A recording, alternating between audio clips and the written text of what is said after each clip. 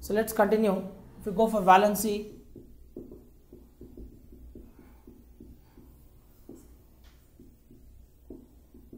combining capacity of element is simply called as valency. Valency can be calculated by V for valency for elements from for elements from 1A to 4A group. For elements for 1A group from for elements of 1A group to 4A group valency is calculated by valency is equal to group number valency is equal to group number. Example you can take if you take sodium which belongs to 1A group. This sodium its valency is equal to 1 1A group. If you go for magnesium you go for aluminium it belongs to 3rd A group. Its valency is equal to 3 group number is equal to valency but for elements for elements for elements from 5th A to 8th A. A group 8th A group valency is equal to group number minus 8 take one example if you take example you take phosphorus which belongs to 50 its valency can be calculated by valency.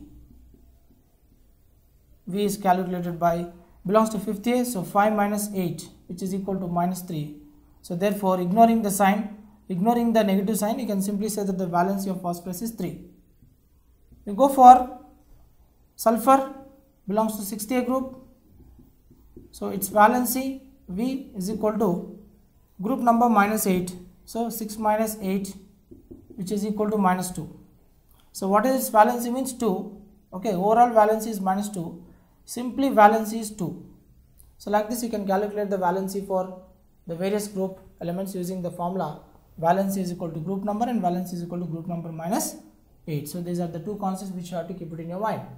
Then after that if you go for second one that is this is the first case. Number 1 valency number 2 atomic size. So if you go for atomic size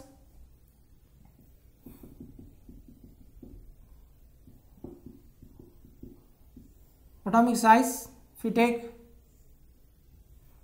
period group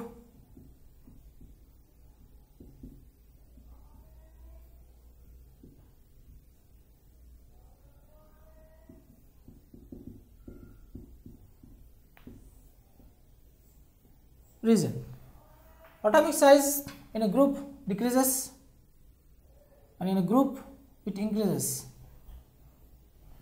In a group it will increase a. In a period atomic size decreases because in period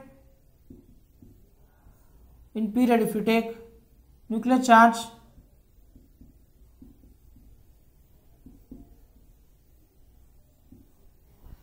the nuclear charge the nuclear charge increases nuclear charge increases nuclear force of attraction.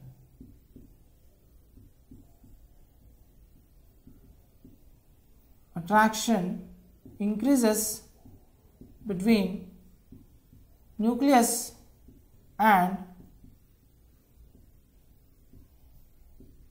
nucleus and valency electrons. Nucleus and valency electrons. So this is something about the I mean decrease of the atomic size in a period, this is the justification. If you go for a group, in group that is B, in group you find that nuclear charge, of course here also nuclear charge, NC stands for nuclear charge increases, nuclear force of attraction, nuclear force of attraction NFA, nuclear force of attraction NFA, nuclear force of attraction uh, it uh, nuclear force of attraction decreases between nuclear force of attraction decreases between nucleus nucleus and valency electrons. Nuclear force of attraction decreases between nucleus and the nuclear force of attraction decreases between nucleus and the valency electrons is the reason why we have to understand that the atomic radius decreases in a period and the atomic radius increases in a period. Atomic size or atomic radius both mean one and the same here. Atomic atomic size or you can say radius.